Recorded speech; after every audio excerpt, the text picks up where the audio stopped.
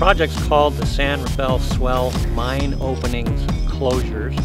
And uh, uh, mines, when they're not used, these old mines, uh, they need to be closed because of the, the safety aspects. Uh, we have a lot of recreation, and we're getting more and more recreation all the time. Uh, these adits are visited by ATVs, bike groups, motorcycle groups, and just hikers, people that want to go out and enjoy what's up here. And uh, most of these are uranium mines, and they have uh, a lot of uh, radiation, alpha particles, uh, gamma radiation.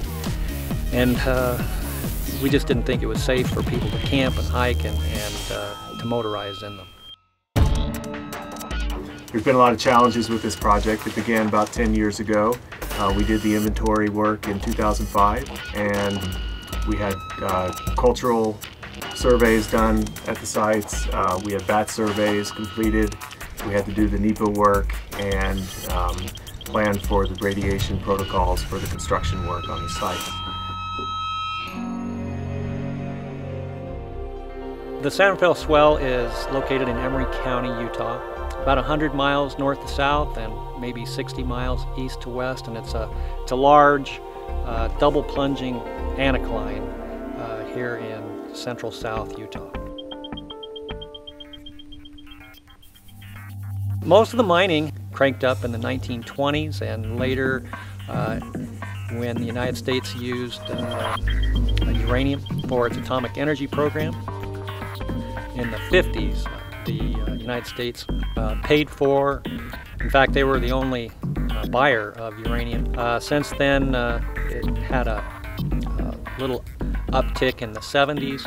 At least 50 years since most of these have been, been operated. And so all of the 172 adits and shafts that we've closed, uh, anybody that had a mining claim on it were given the opportunity to uh, bond for it and uh, just to make sure that when they were done mining that these were sealed up uh, the way they should be. Uh, many people wanted to preserve the historic fabric of these mines. Uh, in some remote areas, it's best to just backfill them and, and make it look like no one had ever been there. And so, as much as we could, we tried to preserve the historic context of all of these.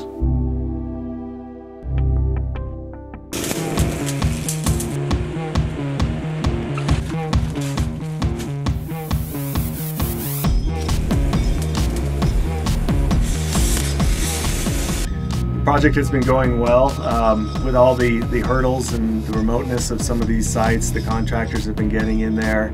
Uh, they are really good at this work, but it was one of the more difficult projects that they've that they've done. Um, some of the openings are a quarter mile, half mile in from where you can drive a vehicle, and they've had to carry materials in or else um, shuttle ATVs up to the base of the cliff and then hike it up or tram up um, materials up to the openings in order to close them. An opening like um, like this one, for instance, might have taken a couple of days to complete. Um, and with the 172 openings that we've, we've had, it's, it's been about five or six months work.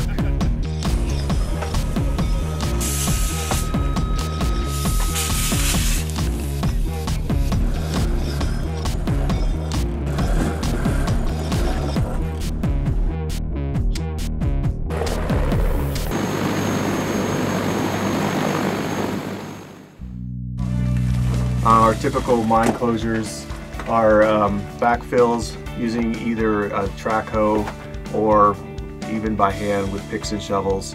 We build walls out of block or we use native stone material. We have uh, rebar grates or bat gates and we also use polyurethane foam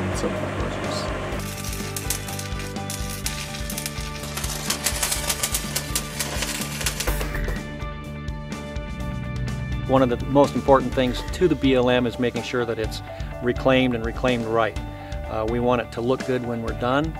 And in this case, uh, every one of the uh, adits and shafts that I've had to inspect, the state and the Abandoned Mines program has done a, a superior job.